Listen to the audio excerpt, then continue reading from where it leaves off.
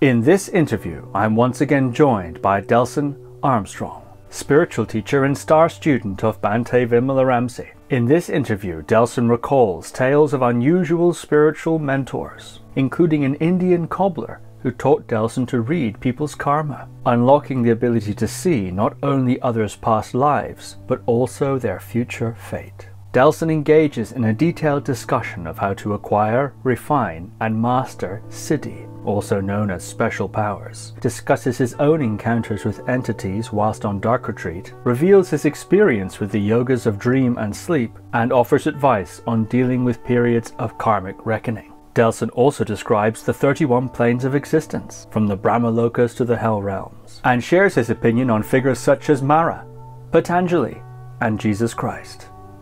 So, without further ado, Delson Armstrong. Delson Armstrong, welcome back to the podcast. Thank you. It's good to be here. Well, I'm so delighted to uh, be talking with you again. We have quite the menu today of topics to discuss. There's some interesting uh, stories biographically that we're going to cover. And also, we're going to talk about a very interesting topic the 31 planes of existence. Wonderful. So let's begin. Now, in our correspondence before this this call, you mentioned that there were actually some other mentors of yours who were really rather interesting, including a cobbler in India who provided you some insight and instruction into reading people's karma, and as well as a man who had 13 near-death experiences. And that both of those men sound very interesting. I'm wondering if you could uh, talk a little bit about those. Yeah. So the first uh, person that you mentioned, the cobbler, uh, I met while I was in Bombay. So I was about, uh, I'd say, just about 16 at the time. This was right before I made my trip to the Himalayas. And uh, it was a, it seemed like a very chance meeting. Uh, I, I was walking on my way and uh, I, uh, you know, I damaged one of my slippers. So there was a cobbler on the way and I went and saw him and he looked at me and I said, I spoke to him in basically broken Hindi because my Hindi isn't so good. Uh, and he kind of recognized that my Hindi wasn't that great. So then he switched over to English, which for me at the time surprised me uh, because I didn't really expect him to speak such great English. Um, and, you know, we exchanged pleasantries. We, we talked about this and that. And he asked me where I was from what I was doing. And uh, I said, you know, I'm just visiting Bombay and I'll be heading uh, on a trip very soon. And uh, he fixed uh, the slipper for me. And then that was it, really. That was our first chance meeting. But there was something about him, you know, his smile, his gaze, uh, which really intrigued me. And especially the fact that he spoke so eloquently while, while we were talking. And the subject matter that we were talking about was just you know, we were we were just talking we were just talking about the U.S. and India, and you know, relations in the U.S. and India, and um, just very very general things. But the way he spoke and the there was something about him, just the way he he gazed at me, that really struck me. So, you know, I really thought about this person, and I was staying with my relatives at the time, and I told them about this person, and I said, uh, you know, have you met have you met him because he's in the neighborhood and you know, are you aware of him? And they said, no, we don't know him, and it's nice that you met him. So he was on the way back. He was on the way while I was walking to and fro. So I decided to go and say hi to him again, and we just had a nice conversation. And he had a little shack, so it wasn't a full fledged, uh, you know, store walk-in store. It was uh, like a little shack, a wooden shack and he sat on the ground and he had his tools inside the shack and all of his stuff that he was doing outside and sitting you know very relaxed. And he said would you like to sit with me and have a cup of uh, cup of tea? I said yeah sure. So he ordered uh, two glasses of tea for me uh, one for him one for me. And we started talking and somehow the conversation steered towards yoga uh, steered towards uh, spirituality steered towards meditation.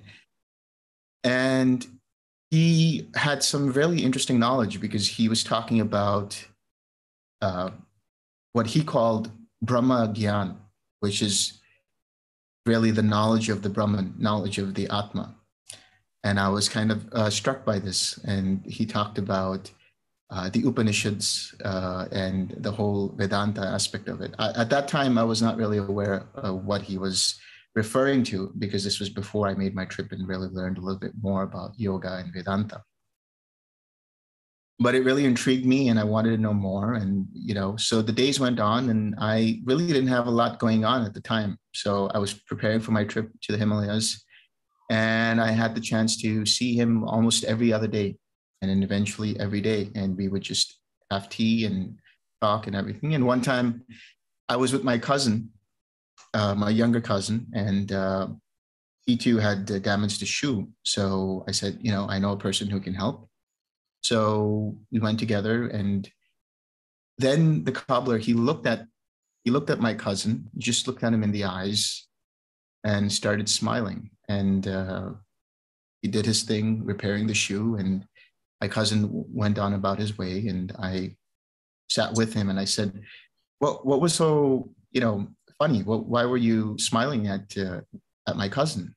And he said, well, I see great things for his future. I see some interesting things uh, for his future. So I said, oh, what were you doing? What were you doing? Some kind of face reading or palm reading or something? He said, no, I get a sense of people's karma. I get a sense of where they are and the choices that they've made and where they're headed. And he said some interesting things about my cousin, uh, about things that would happen five down, five years down the road, ten years down the road, and you know, it actually did happen. A lot of things that he talked about in terms of where he would be, what kind of relationships he would get into, what kind of trouble he'd get into, you know, things like that. And uh, of course, I didn't know it at the time. I didn't have the forethought, the, the foresight to see it. So I, I asked him, uh, how did you, how did you get this uh, siddhi, right? How did you, how were you able to read people's karma? And he got into the mechanics of it, and he addressed it in the the Yoga Sutras. And in the Yoga Sutras, what it's talked, what's what what's talked about is how to read your own past lives through samskaras. So samskaras are these impressions in the mind, so to speak. They're like, let's say, you could, the equivalent of that would be the synapses in the brain that carry memory, carry certain kinds of messages around. And the idea is that these formations in the Buddhist terminology, it's known as sankharas or formations, as they're usually translated. They are the carriers of karma. They're the carriers of the effects of your previous choices. So he went into some great detail about this. And he explained to me, you know, you could do it for yourself, but then you can also look at people and get an impression by placing the mind on their mind. So effectively reading, let's say, into the thought processes within their mind through a certain technique, and then being able to see what choices they made in the past and then get a sense of where they're headed in terms of their karma.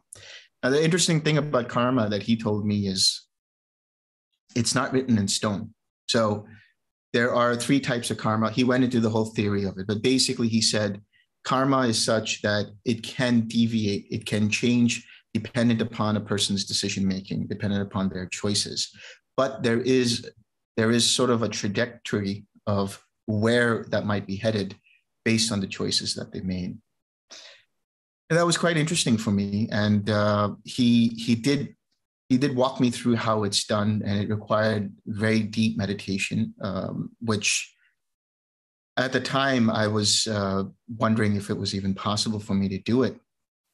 But what was interesting was, and and this is something I reflect on now, was whether it was a result of the meditation techniques that he was making me go through, or whether it was a result of what was happening in the Himalayas. Because while I was in, in the mountains there, we were in the foothills. We were around a place called Rishikesh and uh, Uttarkashi. And I was with my teacher. So, one of the things that I experienced amongst some other mystical experiences while I was there was precognition. And it was like I could almost say it was sort of like deja vu because I would have visions of the next day and what was going on, and people that I had never met before and knew what they were going to say, what their names were. And it happened all while I was there in the Himalayas. It was just every single day. So there was a point where I met a certain individual and I knew exactly what they were going to say. And I started finishing their sentences, for them. And they kind of got freaked out by that. So uh, I wonder if, you know, if I reflect on it, I think it might have been a result of the meditative practices I did just before going to the Himalayas. But I never really developed it further. Uh, there is a sense of understanding of karma now where you can get a sense when you see a person or talk to them and place their mind, get a sense of what choices they made in the past and how it leads to a certain thing. But it's not something that I, I readily provide to people as a way of teaching because it's quite advanced. And sometimes people don't want to know and it's their right not not wanting to know what their future holds. Yes that's fascinating. Do you think this cobbler attained that siddhi um, from past meditative uh, experience or presumably he wasn't entering into these very profound meditative states just instantly whilst looking at your cousin and fixing the sandal or the slipper.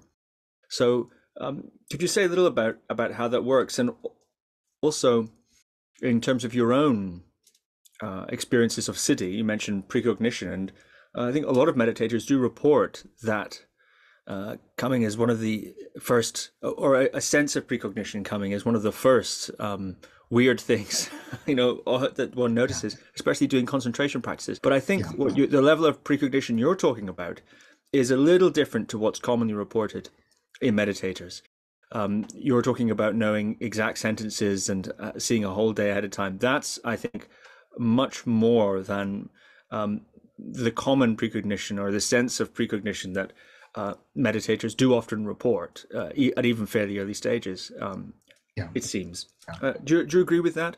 Yeah, I, I, would say that's a fair statement because uh, I do know of other people who do start out on the meditative journey and they do kind of awaken, let's say, certain siddhis, including some elements of precognition. Like they get an impression of something that might happen and they get a feeling that an intuitive feeling that maybe I shouldn't be doing this or maybe I should head in that direction. You know, it's it's the intuitive mind, really, the way I look at it, that is being awakened there. And there are other siddhis that might arise uh, in the form of, uh, you know, being able to kind of know what the person is thinking and being able to kind of read minds, if you will. But yes, I, I would say that uh, to the extent of uh, where one was in the Himalayas and experiencing this, I, I, would like to I would like to think that it was probably twofold. One was the meditative states uh, that I learned from this particular cobbler, along with, I believe, the the energy of the Himalayas. You know, it, it there is something to be said about going to certain places on this planet, including the Himalayas, where there is a certain sense of coming home, sense of like I've been here before, and also a sense of like a new awakening in some way or another. You know, uh, it's like you're living a different life when you go to the Himalayas than you would while you're in the city or whatever it might be obviously the, the most obvious reason is because you're going into the forest and the mountains but there's this subtle energy i would say which which is uh, impacting the way people experience certain meditative states and i think now that you mention it this this cobbler he probably had a lot of uh, attainment with meditative states and looking at a person go into a meditative state and then be able to access their, their particular sankharas. Uh, the way he explained it was very interesting. He used an interesting analogy. He said, you know, you think about, and it was very rudimentary, but I, I thought it was a very fascinating analogy. He said, you think about like uh, the way the internet works and the way you connect uh, to a website. You know, there's a certain IP address and you ping that certain IP address, and therefore you connect to that in, in, that particular web page. So in the same way, if you know or if you're able to ping a specific uh, IP address of the mind of a certain mind, then you're able to access what they might be thinking as well as their deeper sankharas, which are really the web pages of that particular mind. So that really made sense to me at that point in time, the, what he was talking about. Uh, the meditative states that he was doing, or let's say the meditative practices that he was doing, were primarily uh, rooted in Vedanta, as I said, and uh, in the Nath tradition, uh, what is known as the Nath tradition or the Nav Nath tradition, the nine Naths. And the Naths are like basically the Nath yogis that lived in the Himalayas many, many centuries ago. And you have different individuals like uh, uh, Gorakshanath, uh, Nath. It's quite a mouthful to say, but basically Nath means Lord or Master. These were specific type of school of yoga that uh, did different practices uh, to attain certain states and to attain certain siddhis. Of course, I, I don't have experience of siddhi, so I have to make a, an analogy to other skills. Uh, you know, like play, for instance, playing a musical instrument, for example, which is something I have some skill in, or even fighting, for example, yeah. or physical uh, sports, say. Uh, yeah. At the beginning level, one doesn't have skill, but one might have other uh, attributes like uh, raw power and muscle, for example. You can sort of muscle your way through things. As you become more refined and you gain more skill, you need less uh, muscular power to achieve the same result. You become more efficient. So the power you've got goes further and you can achieve the same as you could before with less with less using less power because the efficiency of the skill is improved and they say the difference between a master guitarist and a mediocre guitarist and I'm afraid in the latter category, is efficiency. The virtuoso makes it look easy and effortless. It's not effortless exactly. It's just very right. refined effort, you know. But yeah. It, it, yeah. So I'm curious if it's the same for uh, these sorts of siddhi. When you get the knack for it and you refine the skill, do you need less meditative, raw meditative power? Uh, does it? Do you have to build up a lot of power to acquire the siddhi, and then to break through in some degree, and then afterwards it's a refining of that, or am I thinking of it um, incorrectly? What's what's the mechanics of that kind of a process of learning, acquiring a new siddhi, for example, and then re- right. refining its use afterwards? Yeah. Well, I mean, if you think about siddhis, yeah, they are certain skills. I think you put it rightly in that sense. And and you think about the way the yogic tradition has been, the Vedic yogic tradition, where you have stories of ancient rishis, ancient seers who went into the mountains, who went into the Himalayas, and they they did what they called uh, tapasya. Tapasya meaning producing heat, and so they spent many, many, many, many, many, many years just to develop this raw meditative power, as you put it. And then that enabled them to awaken certain, let's say, energy centers in their body, like the chakras, if you were to follow the chakra system, or anything else, but basically awakening a certain kind of Shakti, a certain kind of energy field that allowed them to access, let's say, higher powers, for lack of a better word, to uh, access these siddhis. So I think initially there is this winding up of energy that's done through a process of meditation, a process of, well, in this tradition or in, in that particular tradition, concentration, concentrating the mind to such an extent that it is super focused and aligned to one object and one objective. Because the siddhi is really the accomplishment, the siddhi is the fruit of the practice, it's the fruition of the practice. Once you attain the siddhi, then it does feel like it's effortless because it's not like the second time around it requires the same amount of effort. There is a there is let's say a learning curve if you will which is to say how do i do this? And then there's a level of practice that's involved once you have the siddhi so what i'm saying is in the different phases the first phase would be the preparatory phase which is the tapasya which is like raw meditative power that you do for many many many years. And then you build up that power and then it awakens something and i i, I do say that it is it is karmic uh, in its effect which is to say you know you, you talk about some certain inborn talents that people have. I see that as being karmic in nature. As i see that as being a remnant of a past life. So it's quite possible that the accomplishment of that siddhi or the attaining of that siddhi is a resultant of previous karmic factors from previous lifetimes, coupled with the effort that one is doing through the process of this these meditations. But once it's awakened, then it's a matter of the second phase, which is then accessing that siddhi over and over again and then being comfortable with it. And then there's the level of mastery, which I see as the final phase, which is you bring it up and you're able to then just use the siddhi. The way I would see it is also in the process of jhanas that we talked about uh, briefly last time. Is in the beginning, it seems quite, uh, let's say, not really challenging or difficult, but just trying to get your bearings of what is this jhana that you're in, or what is this level that you're in. But eventually, you get the hang of it and you start practicing further and deeper and then you get to a level of mastery where you're able to see every factor to a minute degree of each jhana and each level of meditation. Very interesting. And that has some uh, intriguing possible consequences when we consider the 31 planes of existence, which we'll come to. All right. Uh, can you tell us a bit about the man you met who had 13 near death experiences?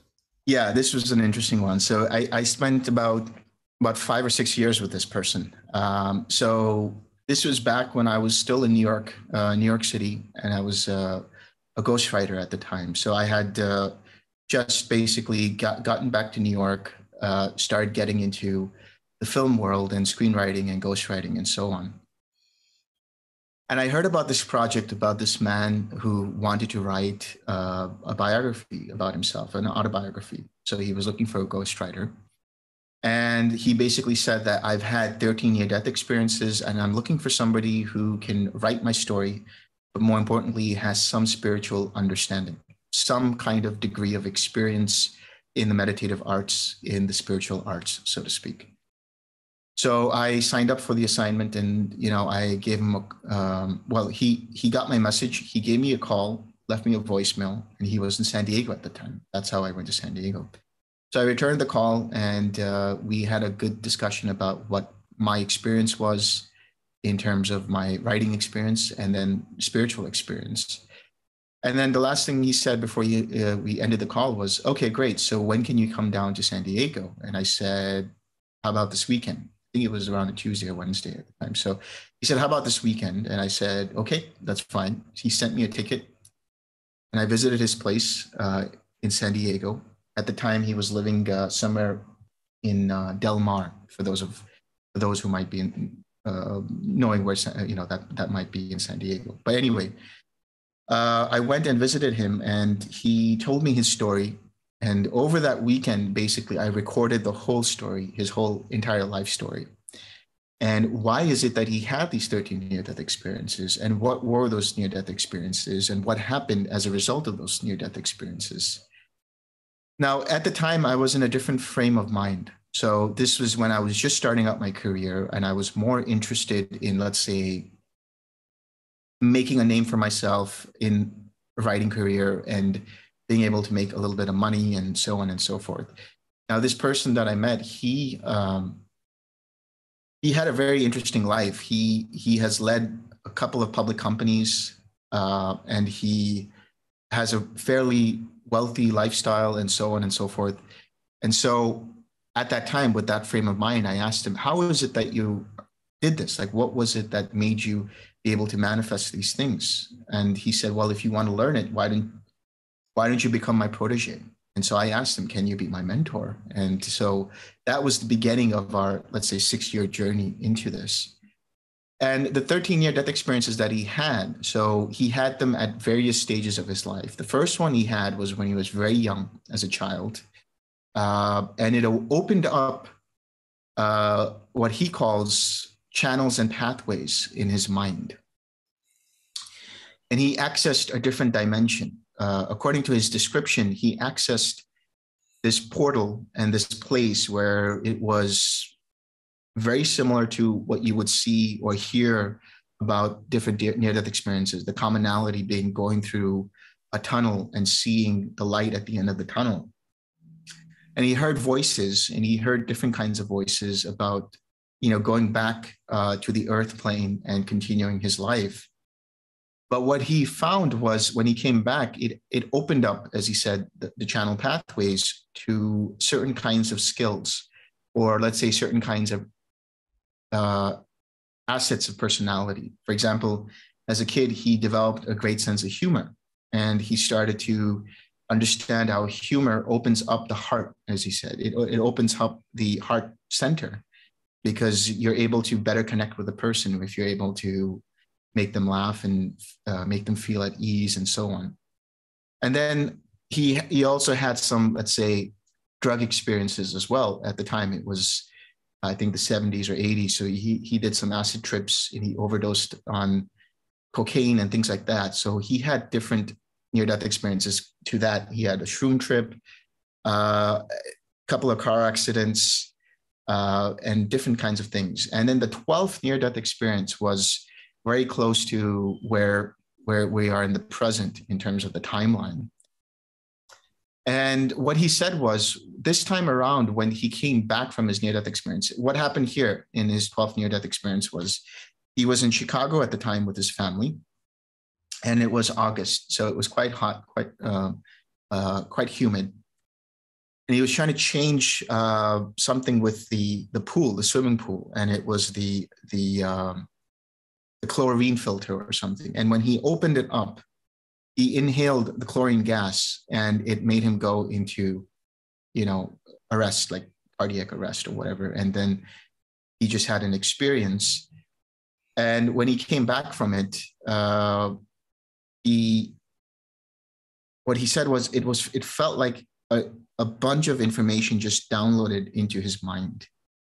And it was like he had connected to the ether. He had finally connected to what he called was the ether and experienced what he called were these principles like 3000 principles of life. And it was from as he puts it some other kind of let's say, interdimensional or extraterrestrial uh, intelligence. Um, and, and so it was, it was, it was a collection of thoughts of wisdom in different facets of life. So I had a chance over that six year period to be able to be mentored in those principles and get a sense of what these principles were all about. And they were related to opening up your your different chakras and different centers in the spine. They were related to uh, you know how to how to live a life where you're always happy, um, how to live a life in which you are experiencing abundance, not only let's say in in terms of wealth or money, but also in terms of experiences and relationships emotional connections and things like that. So it was a multifaceted approach to living the best life that you could. So that was that was a very very important stage in my life, I would say, those six years, to be able to learn from him. And uh, you know, he he's still there in San Diego. He's doing his own thing, and he has developed his own, let's say, program or his own methodology of teaching these things. And uh, you know, he he and I stay in touch uh, quite often. Um, so I'm I'm very grateful for those experiences that I've had with. Is he a public teacher? Uh, I would say he's semi-public. I mean, he's open to being able to talk to people openly. You know, uh, I, he has appeared on a lot of different talk shows. Uh, he's appeared on Oprah uh, many, many, many years ago for something else that he's done. So he is okay and comfortable in the public eye. Uh, right now, I think he's repackaging, if you will, those those elements of teachings that he has and delivering them in a way that's you know accessible through the internet and so on. Hmm. With your experience of different contemplative traditions, do you recognize um, his methodology or the, either the principles or the means of exploring them do they remind you of any or have any similarities to any other contemplative traditions or philosophies that you're aware of? They do, but with an interesting twist. Uh, because he, it was interesting because the information that he received, as he says, uh, is according to him and according to the way he's received that transmission, uh, delivered in a way that is unique in terms of its its messaging, in terms of the way that it's messaged but I do find certain connections to Tantra uh, I, I find certain connections to the Siddha tradition. The reason I say that is because this is a very life affirming kind of practice. It's a, it uses energy centers to definitely get into deep states of meditation and to get into deep states of uh, insight and, and wisdom and so on. But it doesn't just stop there. It also talks about what is the best way to live life to the fullest. So I find a lot of similarities in that sense from certain elements of Tantra and certain elements of the Siddha tradition, which is the South Indian yogic tradition, which is all about how do you live in the world uh, while still maintaining some level of higher consciousness. Um, and, and so being both in the mundane and in the supramundane territories. I noticed you haven't mentioned his name yet. Uh, is that deliberate? Oh well, his name is his name is uh, Greg Halpern. Greg Halpern. You could look him up. Greg Halpern. Wow. Okay. Interesting. In that story, you, you mentioned uh, various different psychedelic uh, compounds, yeah. and also uh, you know drugs like cocaine and so on that Greg had used. Have you yourself uh, experimented with any psychoactive substances, either recreationally or um, in contemplative contexts?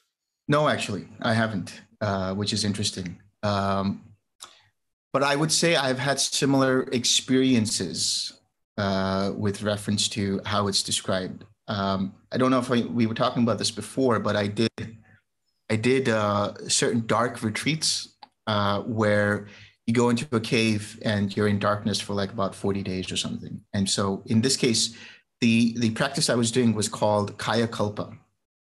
So Kaya Kalpa is from the Siddha tradition, which is about, it's sort of like an anti-aging thing. It's actually used primarily for anti-aging, uh, reversing the aging process at the cellular level, at the level of the DNA.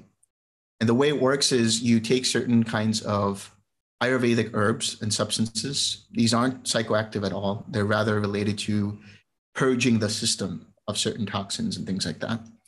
Uh, and then certain kinds of herbs that build up certain tissues in the body or help build certain tissues in the body. So while you're doing that, you're in a period of fasting. Uh, so you're fasting for about depends upon the length of time that you're doing the whole program for, but anywhere from seven to 21 days.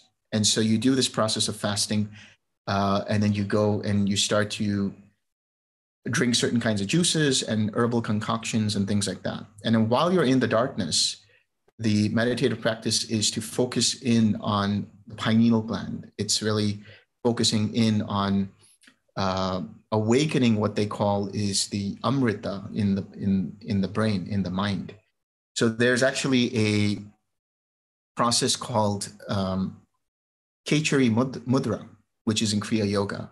You take the tongue and you access uh, a certain thing over the nasal palate, and then it you, you taste certain certain kind of bitter and salty kind of substances, and eventually it's it's sweet to the taste. So uh, along with that, you then focus in as best as you can to that location of the pineal gland, and it awakens the light with, within, so to speak, and you get certain kinds of very interesting experiences. And I would say they're probably just hallucinations, and they're probably hallucinations as powerful and as strong as, let's say, DMT or an acid trip. I couldn't tell you from experience, but I could probably say they're probably very similar. Hmm. Very interesting experiences and hallucinations of lights and uh, entities and landscapes well, entities yeah yeah lights and entities. Like i i saw certain kinds of uh, interesting entities like uh, serpent like entities which uh, i would say are the nagas. Um, and then other entities like you know uh, it's very funny but like they look like wizards if you you know they kind of look like you but with longer beards you know? And uh, they're basically, I would say, the rishis or the ancient yogis and, and that. So I look at these as probably archetypes of the mind that you're accessing and then downloading certain kinds of wisdom and information through that process. Did you interact with those uh, entities at all during that dark retreat?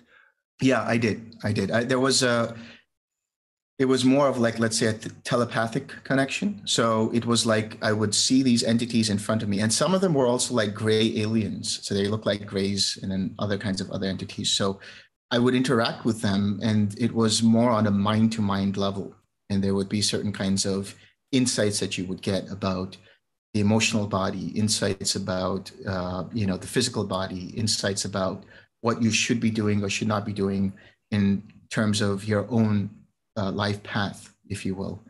Uh, and then there was this experience of this interconnectedness, uh, a sense of like a holographic nature of the universe that the, the, the cell or the atom contained within it all of the elements and building blocks for an entirely new universe. So it was quite the trip, you know, no pun intended, but hmm. it was really interesting. okay, before we get on to the 31 planes of existence, I'd like to ask you a bit about sleep. Sleep. Yeah. Now, David Johnson, uh, who uh, viewers of the last episode or listeners of the last episode will, will recall introduced us, mentioned that you don't sleep much, actually. Yeah.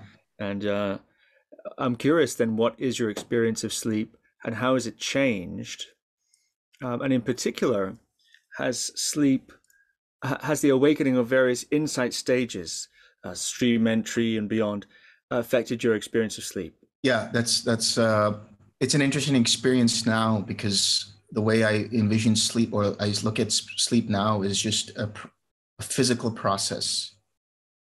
So when we talk about the various stages of sleep, um, I'm able to just be conscious of them so I know that, for example, the mind is now getting into, uh, you know, an REM phase, or it's getting into a deep sleep phase, and so there is a level of mindfulness now in this mind which is able to be, let's say, alert or awake, even while asleep. So the purpose of sleep in this case, I, I look at is just rest for the body and uh, certain regenerative processes that the body has to go through at the level of the cells. But on the mental level, or let's say on the subjective experiential level, I'm still aware of being awake while, let's say, in deep sleep as well. And the way I look at it is it is it is a fulfillment of the understanding in the one of the Upanishads. It's either the Manduka or Mandukya. I always get confused by the two because they're so similar sounding. But it's an interesting one because it talks about the secret of the syllable om you know and what it says is you have the three syllables that make up om you have a u and ma and what these represent really are the waking state the dream state and the dreamless deep sleep state but it talks about a fourth stage which is called chaturya which is shortened to the Turiya stage. And that is the silence uh, beyond the Om, which is aware of these different states within the experience of Om. So the way I would equate that is an experience of Turiya, being, let's say, always on, uh, you know, never really sleeping. And this was also found, as we talked about a little bit about the research last time, which was when I was in that sleep uh, cycle, they didn't see indications within the brainwave reading showing that the mind had actually gone to sleep or the brain had gone to sleep where it was unconscious. There was still a level of mindfulness. And so that's why one of the researchers, when they came in, they actually asked, Were you actually asleep? Because we couldn't see uh, what was going on. It, it, seemed like you were still awake. There was still some alertness uh, through that 90 minute cycle. And why is it that this transformation of sleep, which sounds, you know, we compare if I compare it to myself, for example, you know, um, I have very conventional sleep. Often I don't remember my dreams, in fact, despite attempting to occasionally. So I, I think I'm pretty baseline. Why would that change of consciousness compared to, say, a baseline uh, person um, mean you could sleep less? Uh, in fact, how much do you sleep on average, or how much do you think you'd need if you had to you know, guess? And how much do you sleep, and, and why why is this change meant that you can sleep less than, say, a baseline person? Right. Well, I'll say one thing. Um, there have been occasions, or more than, let's say, occasionally, where I've been able to go without sleep for two or three days and still be okay, uh, still be functional. And, you know, one time, um, as I was explaining to when I first met Bhante Vimalaramsi uh, in San Francisco or close to San Francisco, uh, they had invited me to come and see him. Um, and so at that time, I was still working uh, in San Diego, and I wasn't I wasn't asleep for about two days. I took a short nap and then did a little meditation, and then went on the plane to go and see them. So I hadn't had much sleep at that time. But uh, if you were to ask them, there was just you know continuous joy and you know togetherness in terms of the mind and collectedness and good energy. And I think one of the reasons, if I was to contemplate and understand why is this the case, it's because you come to a certain level in the mind where it's very efficient in the way it processes information.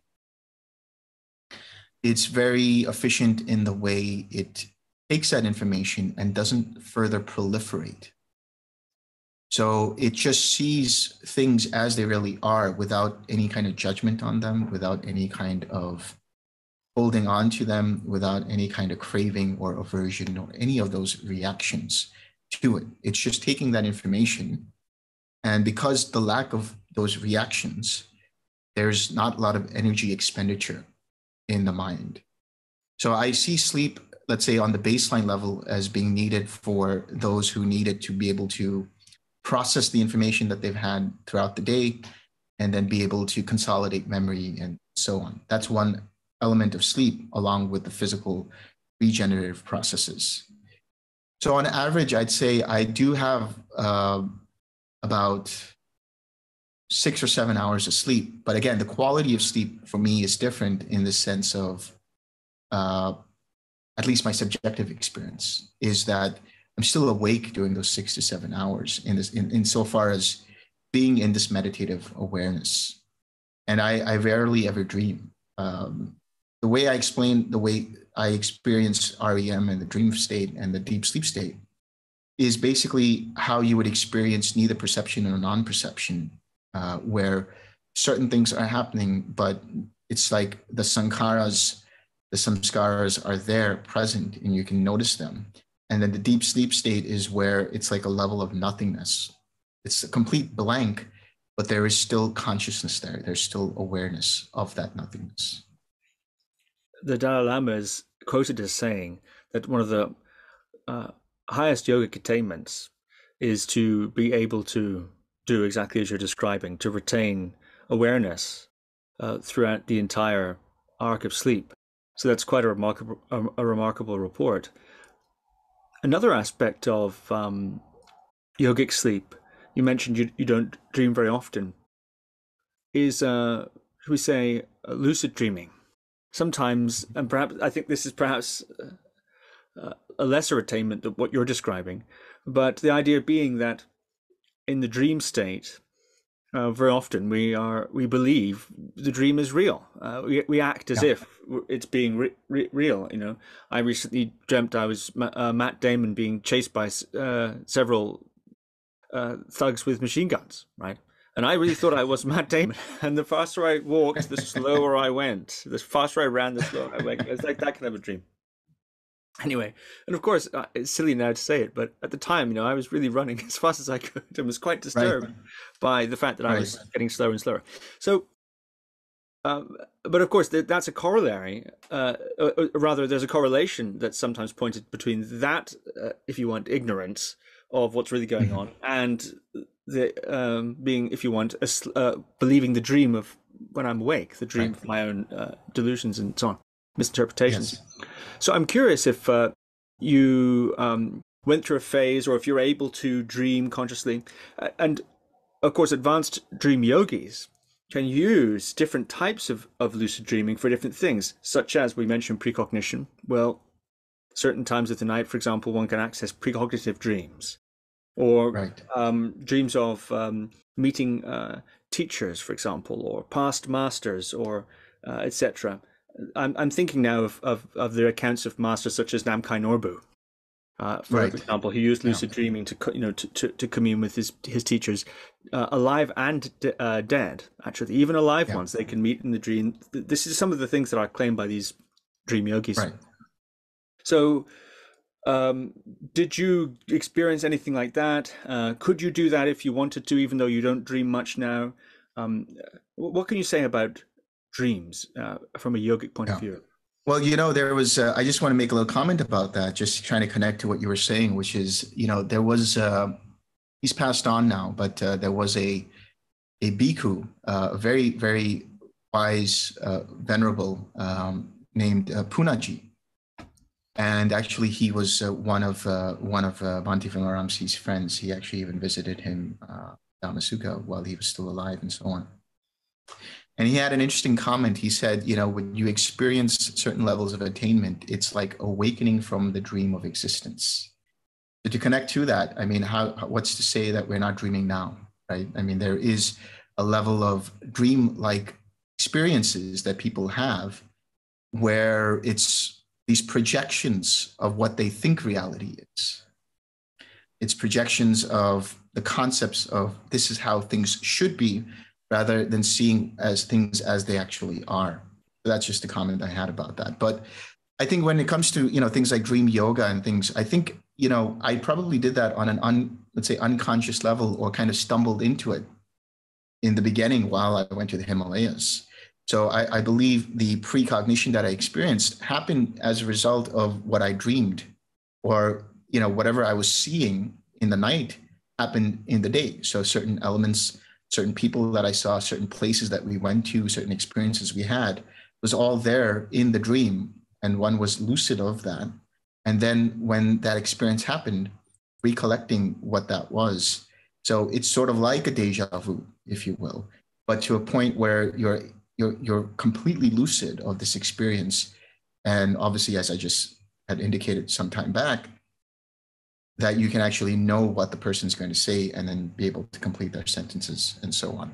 So I think I stumbled into that experience, but I consciously haven't done any kind of experiences with uh, dream yoga uh, to that extent. I have done a little bit of lucid dreaming here and there before, a long time back, but uh, not to this extent. Hmm.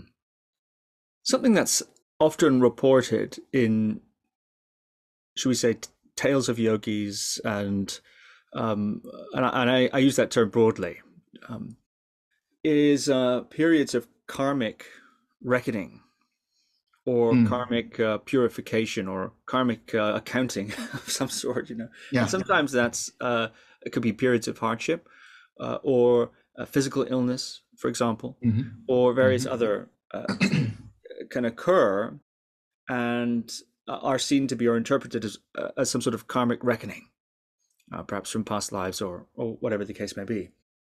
I'm curious what if you have a take on that, and if you've ever experienced any any period of karmic reckoning or karmic purification of that of that of that classic type that one occasionally does hear about. Right, right. So yes, I would say you know um, you think about karma and if you'll indulge me, I'll just give a little bit of understanding of the theory of karma from the yogic perspective. Uh, we have three types of karma. We have what is known as sanchita karma, prarabdha karma, and agami karma. And the way it's understood is the sanchita karma is basically all the karma that you have, let's say, inherited from past lives and are now being accounted for in your choices and your actions. And the agami karma is those fulfillment or the reckoning of that. And then the prarabdha is what is allotted for you in this particular lifetime. So it's basically your fate or your destiny, things that are basically unavoidable in one way or another. They they cannot be avoided, but they can be mitigated in one way or another. So the understanding is that at a certain point, when you have a certain level of awakening, the sanchita and the agami karma are eradicated. But there is still prarabdha karma to be played out. because that is the karmic fuel for this life. So that entails how long this life will continue on for, or give an indication of how long, you know, the biological life will be and what certain kinds of situations will be experienced uh, as a result of that karma or an effect of that karma. So the yogic understanding, and this is what was taught to me at least, the theory of that is that you have packets of karma in one lifetime. And these packets uh, vary in terms of every five years, every seven years, every 10 years, or every 12 years, depending upon the tradition. But basically, what it's saying is around these times, with that kind of reckoning, certain things happen. There's like an unfolding, an unpacking of karmic baggage. And that can be both good and bad. So it has mixed results. So sometimes uh, certain things will propel you to go places because of situations, and that's karmic in nature. I mean, everything in this life is really karmic in nature. Every choice and intention we make is producing a karmic result to be experienced in the future. And the choice that we make now is influenced by karma from a previous action made before. So the understanding is this karmic reckoning is very much experienced by everybody, but yogis are more aware of it. Yogis, again, being very broad term, uh, meditators, or let's say people who are in tune with this. And so I've had my fair share of that. Uh, you know, I've been only here 31 years in this particular life, but I've had my fair share of that starting, uh, you know, at the age of, uh, I'd say the age of 15 or 16, which actually propelled me to go to the Himalayas. It was that disillusionment, that disenchantment with the world. And, you know, just just looking at the world and not really satisfied by it. And then taking my journey and, and experiencing certain things. And then also experiencing uh, sickness. Uh, you know, when I was, uh, and this could be a result of having been in the Himalayas and, you know, all the other things but coming back, I experienced uh, a terrible bout of uh, jaundice uh, to the point that I was really, you know, almost dying. Uh, like I had lost a lot of weight. I had become almost skeletal. And so I consider that to be part of that karmic reckoning. So the, the, the unpacking of the cognitive or the precognitive experiences, uh, the unpacking of experiencing you know these different masters and teachers and different traditions while in the Himalayas, coupled with you know the the, the medical condition that I had coming back from the Himalayas, I take all of that to be an unpacking of a certain package of karma. So the karmic reckoning. And then it happens at later st- stages as well, where other things happen. You know, you lose your job or you lose a family member or you get divor- uh, divorced or whatever it might be uh, for people, it propels them to think about their lives. So there is something to be said about the importance of these events. You you can either choose to see them as why is this happening to me, and you know being very uh, self in a in a in a self pity mode, or you could see it and say, okay, what is the lesson here? And what is the direction now that this life wants to go in? What are the choices that are available to me? If you change your perspective on that then you can actually start to make certain choices that are rooted in wisdom rooted in self-compassion rooted in uh, more wholesome qualities that lead you and at the very least mitigate let's say the negative aspects of the unpacking of that karmic life and so then you are more in alignment with your intuitive mind. And by doing so, you you have a better management of how to travel around this particular karmic unpacking. Could you give an example of uh, a, a more wise or compassionate choice in, in re- relationship to such a packet of karma? Yeah, I mean, I could give a I could give a very general example. Let's see. Uh, if you think about it, like you know somebody somebody gets fired from their job and they they and at the same time they get divorced and at the same time uh, they lose their house and at the same time they lose a parent and and so it's just like what is happening here? You know is god cursing me or is this my fate? And so on and so forth. That could be one way of looking at it. But another way of looking at it is really starting to contemplate why did you lose that job? Was it because you could seek to do something uh, that you've always wanted to do? Perhaps the job that you had uh, was not satisfying or it was not in leading in a direction that you wanted to go in your career now you have a level of freedom to make a choice dependent upon the the the, the, the choices before you.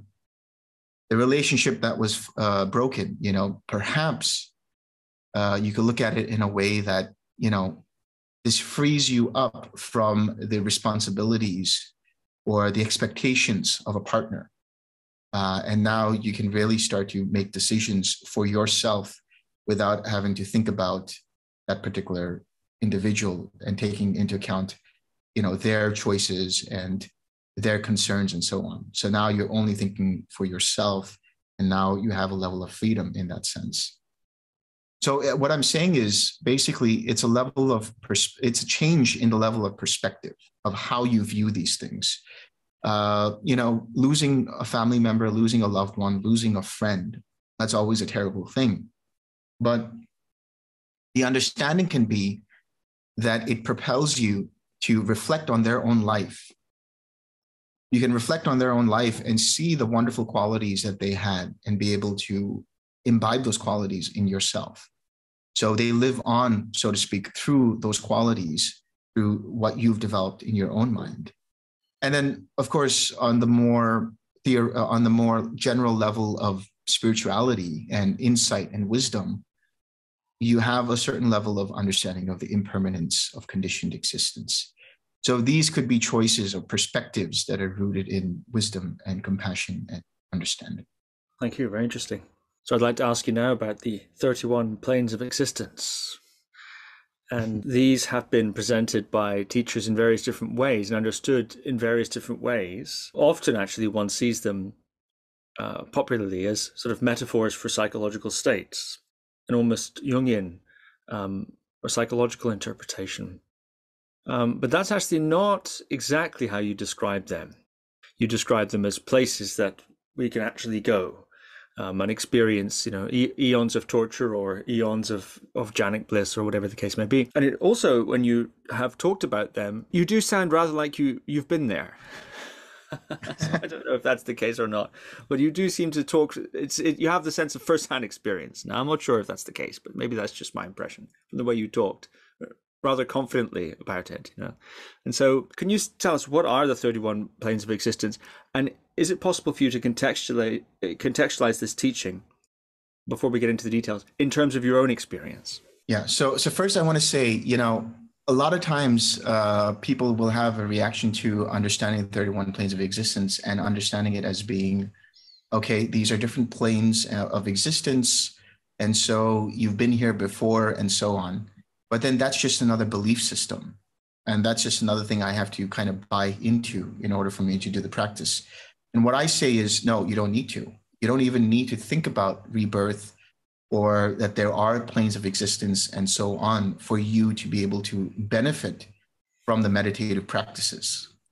So i want to just say up, up front about that is that people you know who want to try meditation and uh, you know specifically let's say jhana practice or, or or the TWIM practice they don't need to believe in anything. And that's really the heart of the dhamma in terms of the buddha's message. Like come and see for yourself we're not asking you to buy into anything. Check it out for yourself.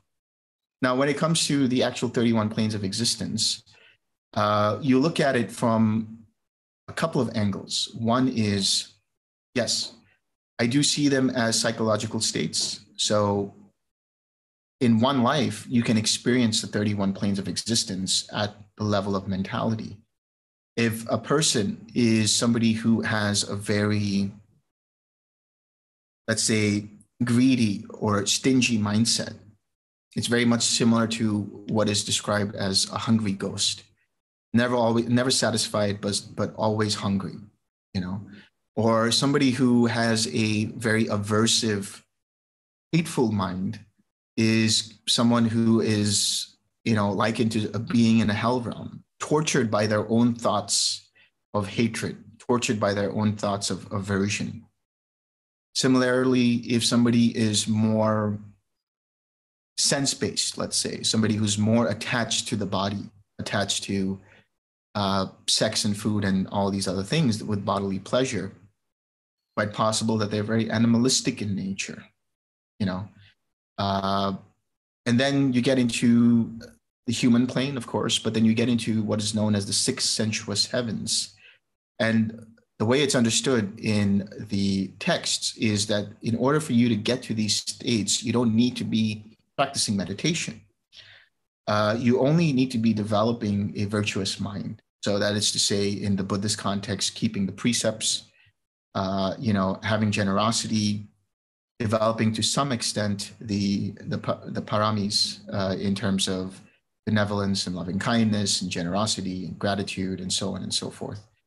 And the reason is because these kinds of states of mind are very much psychologically similar, if not the same, as the devas in the deva planes, as the devas in the six sensuous heavens.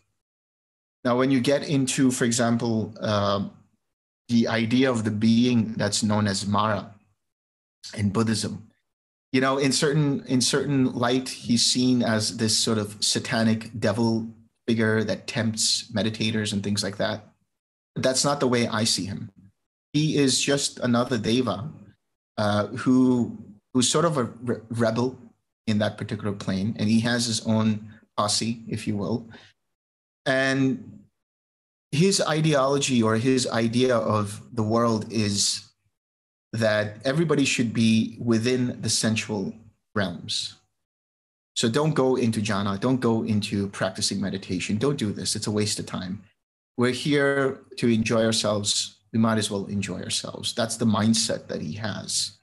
So his intentions are to bring people down from their lofty goals of attaining certain kinds of states of meditation for the sole purpose of saying, if they, they go away, they're no longer populating the sensuous heavens.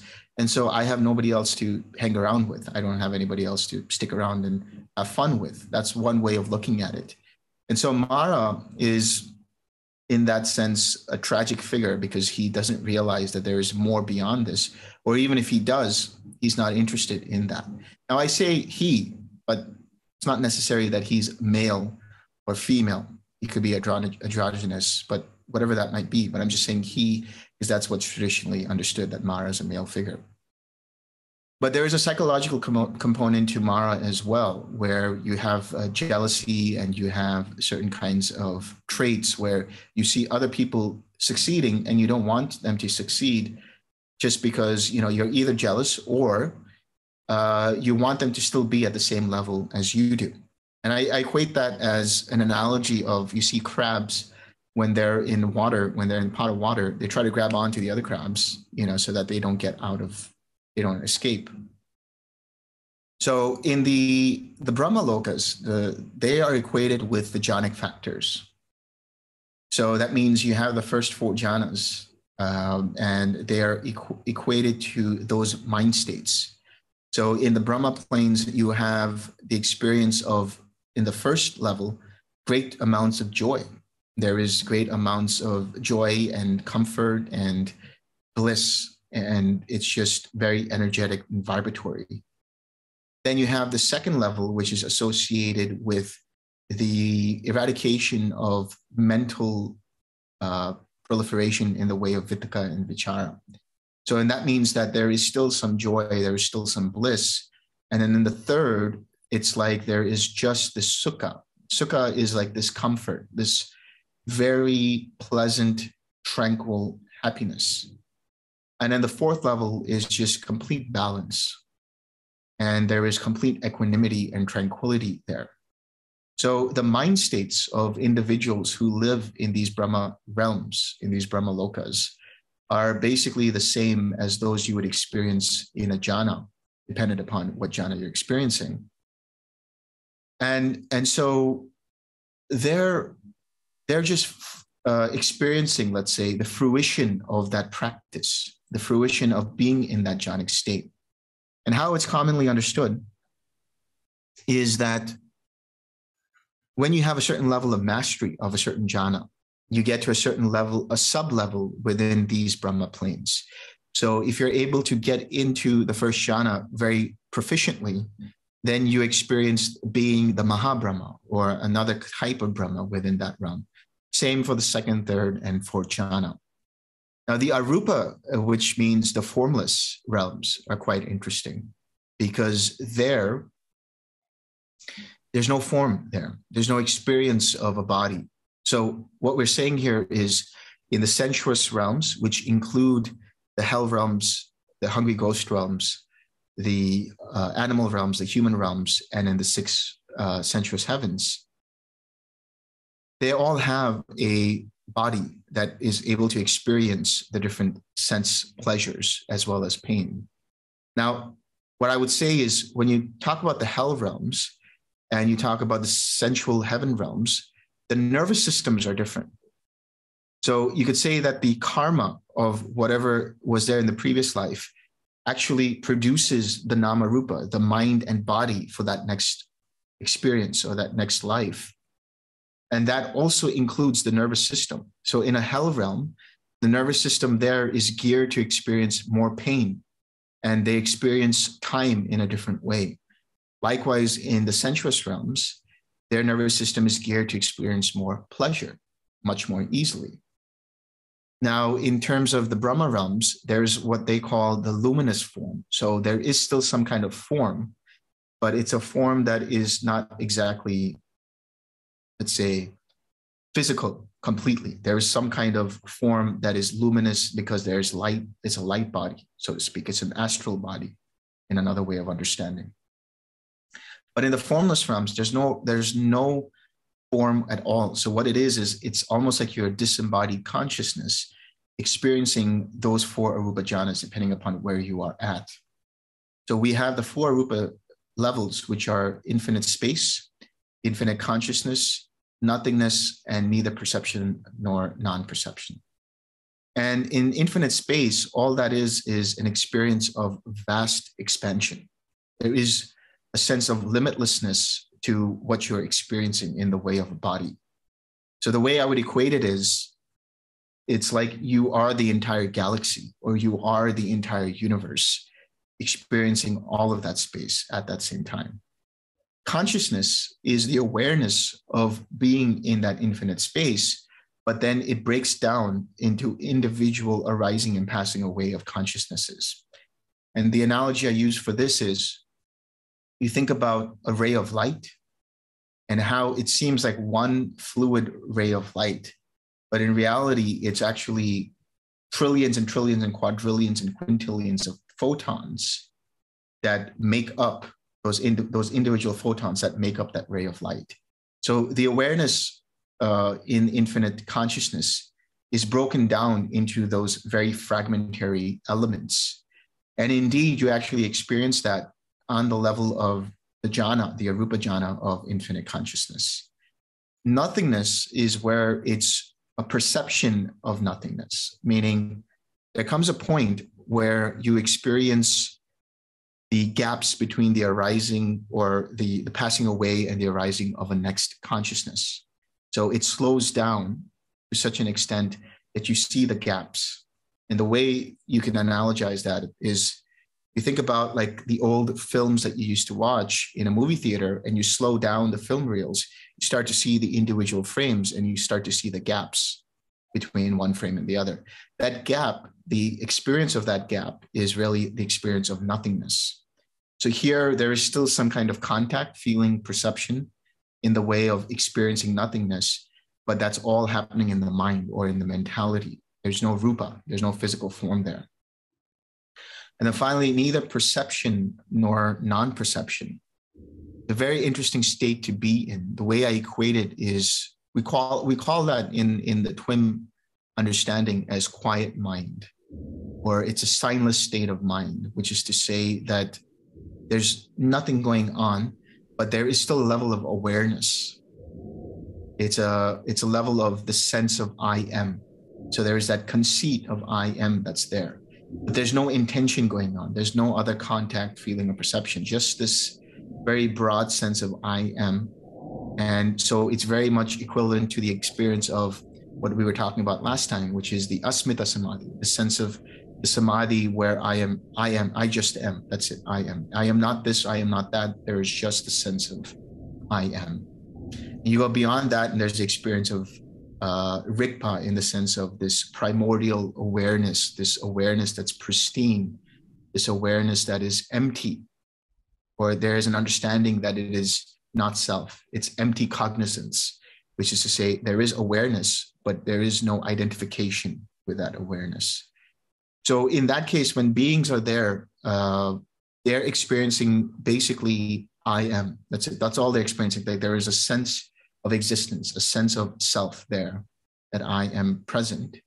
And then at the very last moment, there is an intention that arises based on the intention that arose prior to having taken birth, so to speak, in the realm of neither perception or non perception. And so that intention then guides rebirth into the next plane or the next existence that they are to experience based on the intention, which is those karmic formations. So this is just a broad sort of outline of the 31 planes of existence. Now, within that, there's some really interesting things like the entities that we talked about earlier. You have the Nagas and you have magical beings and mystical beings and things like that, which happen at this level where it's be it's between the earth plane and one of the the, Tavatimsa, the gods of the 33 as they're understood. So all of the archetypes that we understand in terms of like gray aliens or wizards and elves and leprechauns and other things that people experience when they're on you know different kinds of psychedelic journeys that's really experienced here at this plane and so these archetypes can be experienced at the mental level but there is an understanding that they are also quote unquote physical because they are present as their own separate existence and the way I would describe the planes of existence is like the spectrum of light. So it's all one level, so to speak, but it's just different parts of the spectrum of that light. So that's that's really the way I would describe it.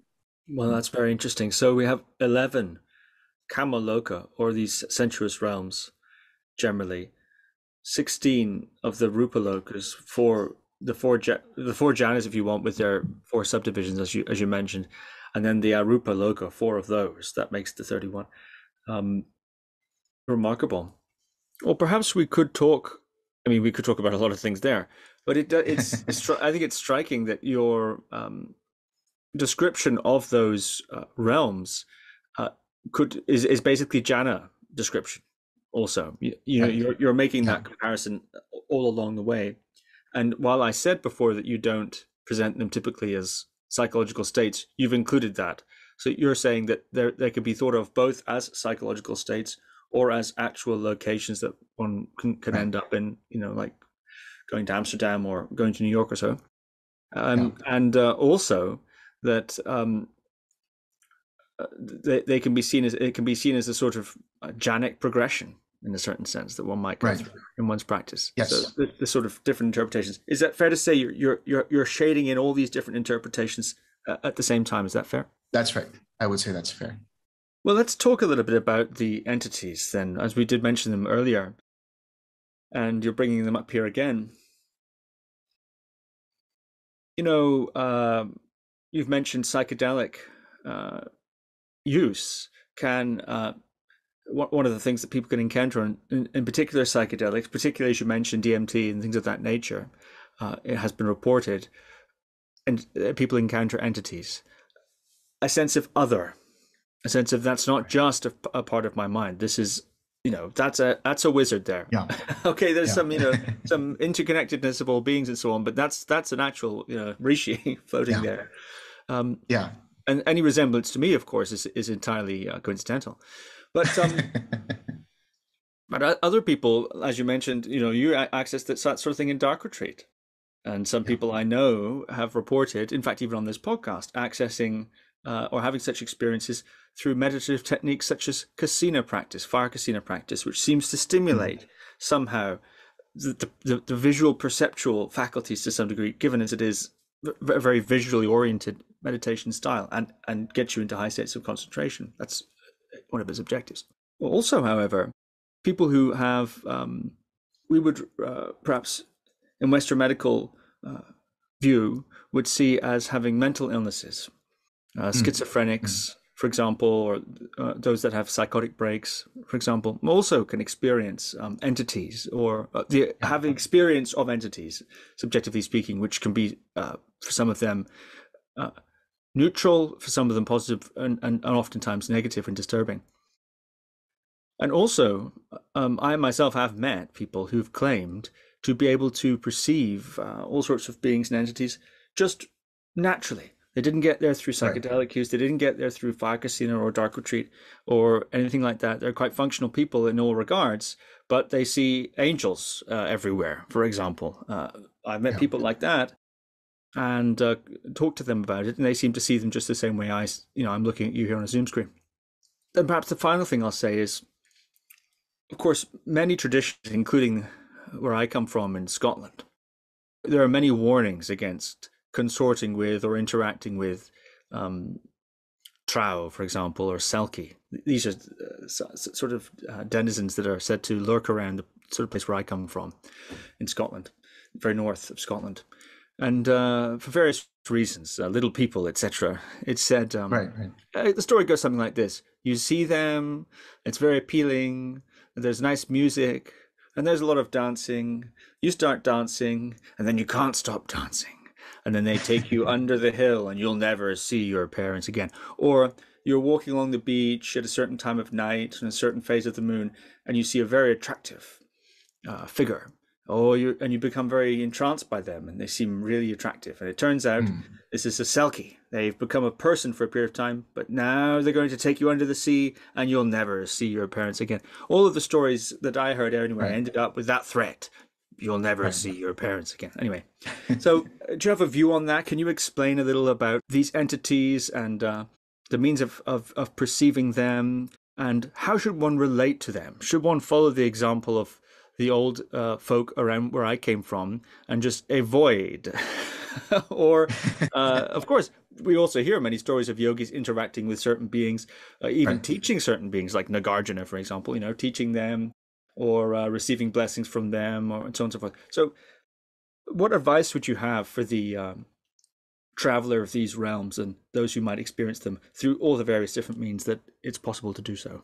Yeah, yeah, that's a good uh, that's a question. I think number one, um, you know, one of the guidances about this is you want to develop a very good control. And what I mean by control is a good level of mastery of a specific jhana. And we're talking really here about the fourth jhana before you start delving into these kinds of things. The reason being is because the, that that allows the mind to be very tranquil, very balanced, and very equanimous so whatever it is you might encounter. Now, this is also uh, a point of guidance for when you want to access previous lifetimes as well in your rebirths, because you might not like what you see when you see previous rebirths. So uh, it gives a level of clarity and understanding and equanimity, so that if you do encounter these beings, uh, you don't get uh, you don't get afraid, you don't you know you, you don't get startled and things like that. Because I have uh, known of individuals who've tried to access, for example, Patanjali, you know, the founder of yoga. And, uh, you know, the way Patanjali is uh, depicted in the statues, uh, if you've ever seen it, is sort of this half man and half snake kind of body. And that's to say, that's a very nice interpretation a softer interpretation of what you would probably experience. Because according to this individual, when they saw Patanjali, it, you know, scared the hell out of them. It was like, wow, okay, I, I don't want to access this anymore. So I would caution, I would caution people if you don't have an experience of some level of balance and tranquility and equanimity, don't go for these things. So so first develop that, and then if you are interested in accessing these realms, do it for the right reason. And what I mean by that is going back to the understanding of, let's say, the suttas of why certain monks did it or certain individuals did it, including the Buddha himself. he went to these different realms because he was trying to understand karma even better. He basically was trying to understand how is it that you ended up in this particular uh, physical plane or uh, this particular realm? What are the actions, the intentions, and thoughts that led you there? So, the reason why yogis would do this is to understand you know what how does karma play out so that people take birth in these experiences or the the the the rebirth occurs where now the formations the samskaras or the sankharas now transport a new consciousness into these particular realms now as far as for the tales that you were talking about from from uh, uh, ireland i'm sorry scotland uh, you know, I would say it's an interesting thing because you hear a lot of similarities in terms of these stories. So, for example, you know, I talk about, uh, let's say, the Tavatimsa heavens, which are the gods of the 33. And the gods of the 33 are basically in the Hindu and Buddhist uh, mythology, Indra and Varuna and Agni and Mitra and all of these different gods but what you see is they're archetypical, right? They're archetypal in the sense of they're talking about also the same the same kinds of gods in Norse mythology or in Greek mythology or any other kind of let's say Indo-European mindset. So could it be that it's just an offshoot of a proto culture, which is you know one of the theories of proto Indo-European culture, or could it be that there were certain shamans, certain yogis, proto yogis, who accessed these different realms and saw the same thing, but their culture interpreted in a certain way? And yet you see still significant similarities between these different individuals uh, that are described in the different traditions. So I think there is something to be said about that. Like there is these similarities can't just be, you know, considered coincidence. I think there's something greater there in the sense of people having seen it for themselves. And then the stories, you know, get passed down and sometimes they can be interpreted in one way or a different way. And, you know, then they they become children's stories, as you said, and it's it's a warning for children not to, you know, go out into the dark and make sure that you're staying with your parents and so on. So, you know, I think I think the access to these planes have provided some level of richness to the different traditions that we have. Even in Native American cultures, they have their own stories, which have certain similarities to the Indo European cultures, the uh, Southeast Asian cultures, and the Aboriginal cu- cultures of uh, Australia, and so on. I'm curious, of course, what was so terrifying about Angeli uh, that your friend reported. Uh, perhaps that links to a broader question. Do do these sorts of uh, entities, if you like, from these sorts of realms, uh, is it possible for them to have an influence on us, on our states of mind, or on our circumstances, and so on? And um, you know, what what are the consequences of encountering such uh, such beings? Yeah.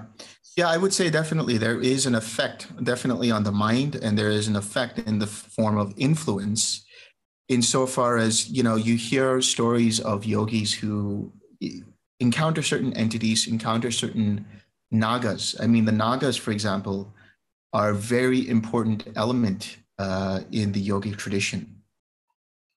You know, for example, in the in the yogic tradition, the idea is before you had the Vedic gods, before you had the Norse gods, before you had all of these uh, different gods, you had the Typhonic gods, which were like the gods of ancient Egypt and so on. But even before that, there was worship of the Nagas.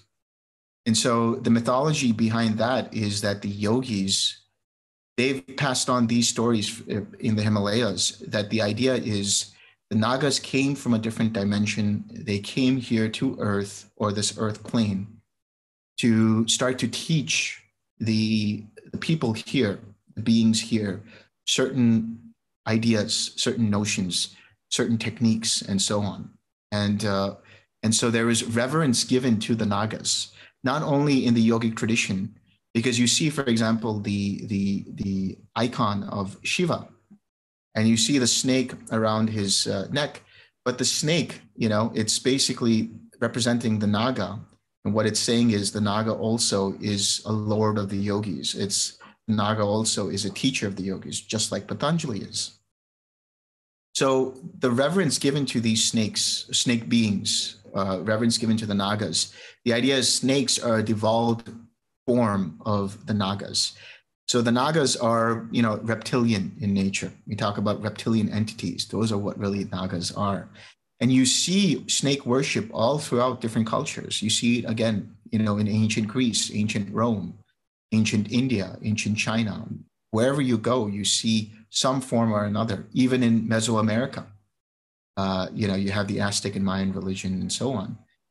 So again, that's pointing out, you know, there is something to be said about these experiences. Now, as to what they look like or how they are perceived, the way I understand it is there is there there is a way that they're perceived and there's a way that they actually look.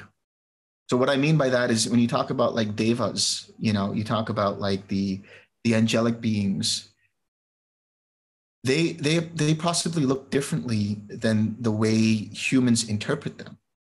So they might just be in the beginning just like balls of light or spheres of light but because of the cultural imprint in the mind it projects onto that that this is an angel from heaven or this is a deva from this deva loka or this is a god from this particular realm you know? So so i think there's no universal form for these entities, at least from the Deva realms onward.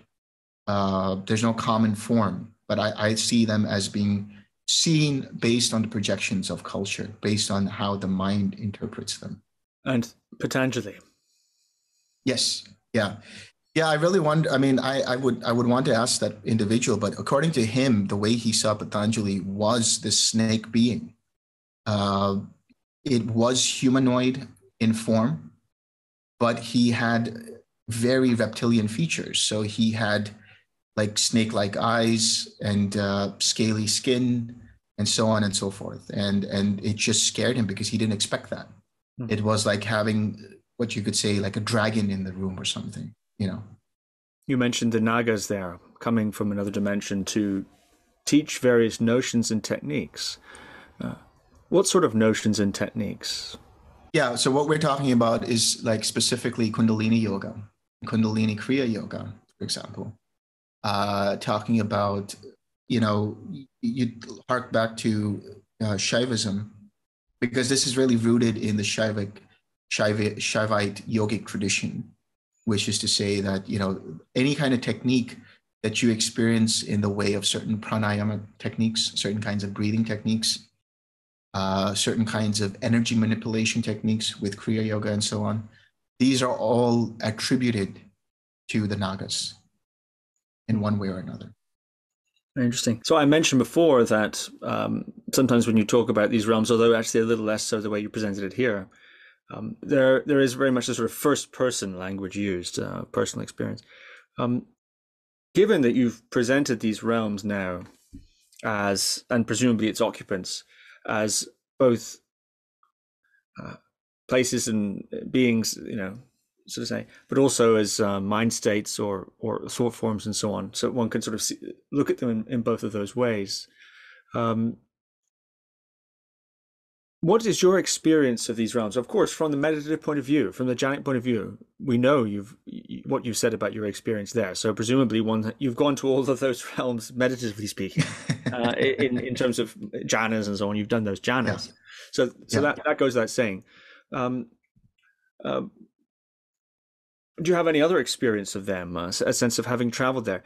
I'm thinking, as I ask you, I'm thinking, of course, of uh, you know astral travel uh, Castaneda, right. uh, things like that, or in fact, dreams. Uh, some people travel there in dreams and so on and so forth, or or deep meditative states of absorption where one can enter into certain, uh, you know, Buddha realms and heavens and so on uh, directly. And it's said to be yes, a, a, mental state, but also a means of uh, translocation of going right. to a different place. Also, um, yeah.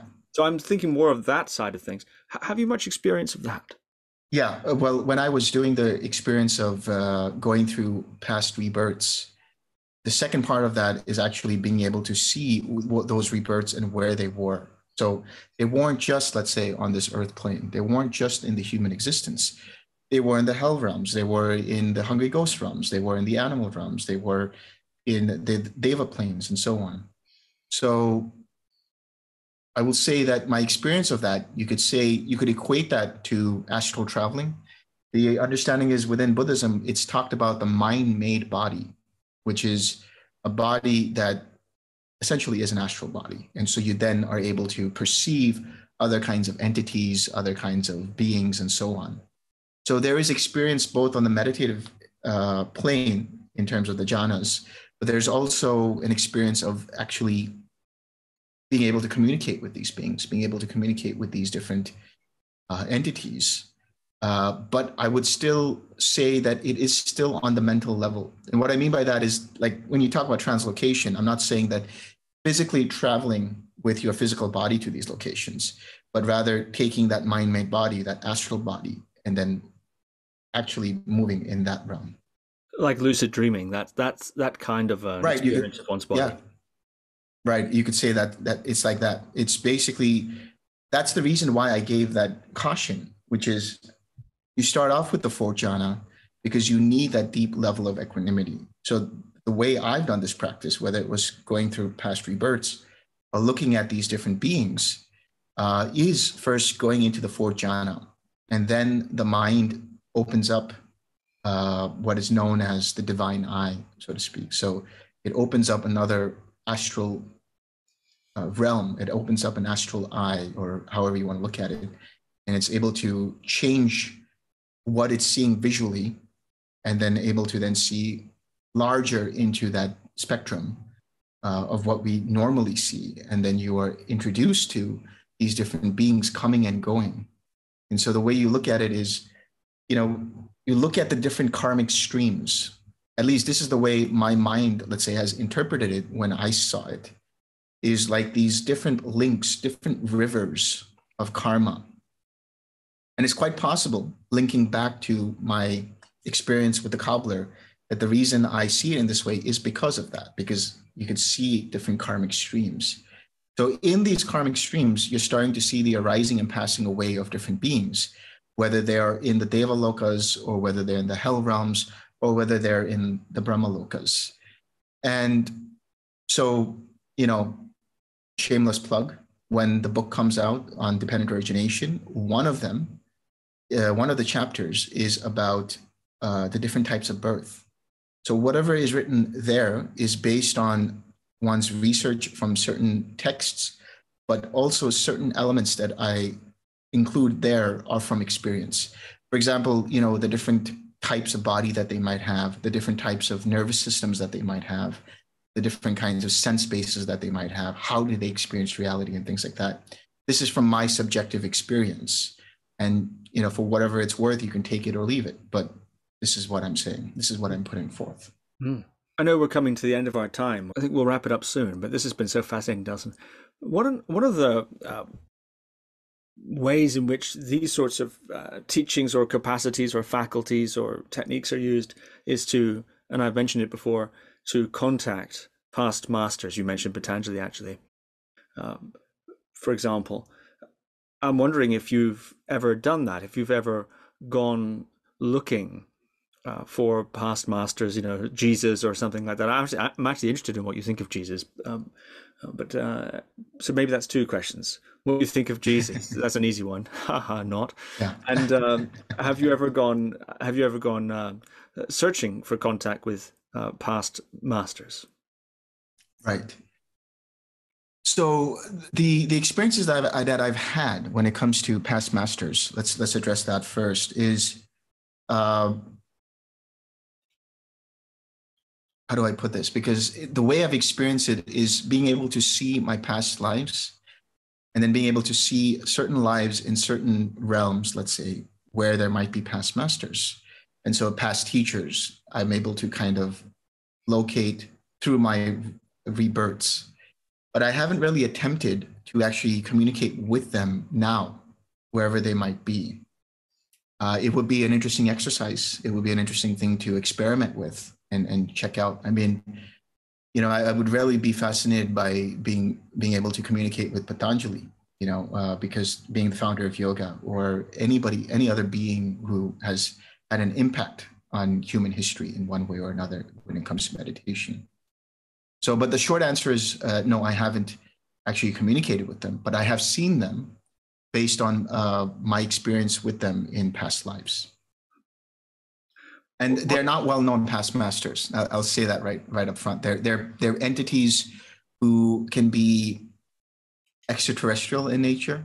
So, so one of the lives, for example, was in this plane of existence, which was sort of like a school, and it was sort of like a, a, a school of different kinds of beings there. So it was almost like it was an interdimensional school, if you will.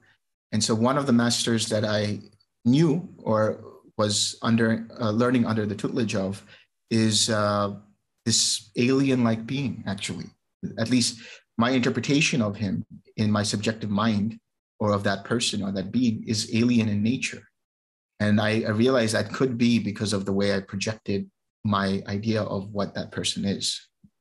So they're not necessarily known or well known. Um, as far as I know, uh, my one of my mentors the person Greg Halpern, uh, he he talks about his communication with uh, beings from the Pleiades system. You know, so he has contact with those uh, particular entities, and you know, he he has a lot of different stories about that and different uh, you know wisdom tales of what the experience is like and technology and, and things like that. So, like I said, the short answer is no, but I wouldn't be, I would be open to trying it out and seeing if I could access uh, uh, past masters. Now, as for the story or the, the idea or the uh, question about Jesus, the way I perceive Jesus is I see him um, not in the same way as we understand him through the Bible completely. I believe, you know, any of the texts that we have in any kind of spiritual tradition has some level of corruption, some level, and not necessarily a nefarious intention of corruption, but you think about, you know, you know, the game of telephone, you know, it, you have just 10 people and the words are misinterpreted or misheard. But the oral traditions not, might not always be pristine. And then likewise, when you have people writing down, you know, stories about Jesus or other beings and things like that, they might not always be accurate because they, they've been written after many, many, many years or even centuries after that individual has gone. I do see Jesus as being um, an explorer of the psychic realm, an explorer of spirituality. I see Jesus as being somebody who had some influence from yoga, but I, I I don't know if I want to say that he traveled to India necessarily. And the reason I say that is because at that time, let's say we, if we consider at that time when he was alive, that period was a period of a lot of cultural trade. So my impression or my idea, for whatever it's worth, is that he encountered different monks and different traditions and different yogis who traveled you know, on their way to Greece or on their way to somewhere else from India, and vice versa. So I believe he probably had the encounter with certain individuals who had certain wisdom, and he was fascinated by that. And what I'm fascinated by Jesus is his emphasis on the power of forgiveness. Because in um, the TWIM community, in, in the TWIM practice, there is in another practice which is known as the forgiveness practice. And it's a very cathartic practice for a lot of individuals who aren't able to do the general practice of sending metta or loving kindness. It opens up their heart. So I believe Jesus' greatest contribution is the understanding of forgiveness and the power of forgiveness. And primarily not forgiving, not just forgiving others, but forgiving oneself. You know, so so whether he did miracles or not, or whether he claimed certain things or not, that might be true, that might not be true. But my impression of this, based on my understanding of yoga and the Buddhist tradition and so on, is that he definitely had some encounters. He definitely had some influence. but I, I caution myself to say that he might have gone to India. I don't know if that would be accurate to say. Well, Delson, this has been uh, really remarkable and uh, uh, conversation. I think going into all sorts of uh, weird and wonderful places. Um, what haven't I asked you, or haven't we talked about that? Uh, does anything come to mind um, that we ought to say as we're now reaching the end of our interview? Uh, I mean, there's so much to explore, really. I mean, we, we can talk about a lot of things uh, in terms of just different meditative practices and things like that. But, you know, one of the things that uh, we could talk about, maybe, I don't know if you could talk about it briefly, but it is something that is a very fascinating subject. I believe you did it recently with uh, Leigh Brasington, which is dependent origination, because dependent origination is such a vast and profound uh, subject that ought to have its own sort of exploration um, for people to really understand how is it that we actually perceive reality how is it that karma comes to be because dependent origination is really the mechanics uh, or the mechanism let's say the gears that move the wheel of rebirth that move the wheel of samsara so that might be something worth exploring well, perhaps I can tempt you back for a third installment. You focused on that. Would you be willing to do that? Sure. Oh, terrific. Well, Delson Armstrong, thank you very much. Thank you. Thank you for listening to another Guru Viking podcast. For more interviews like these, as well as articles, videos, and guided meditations, visit www.guruviking.com.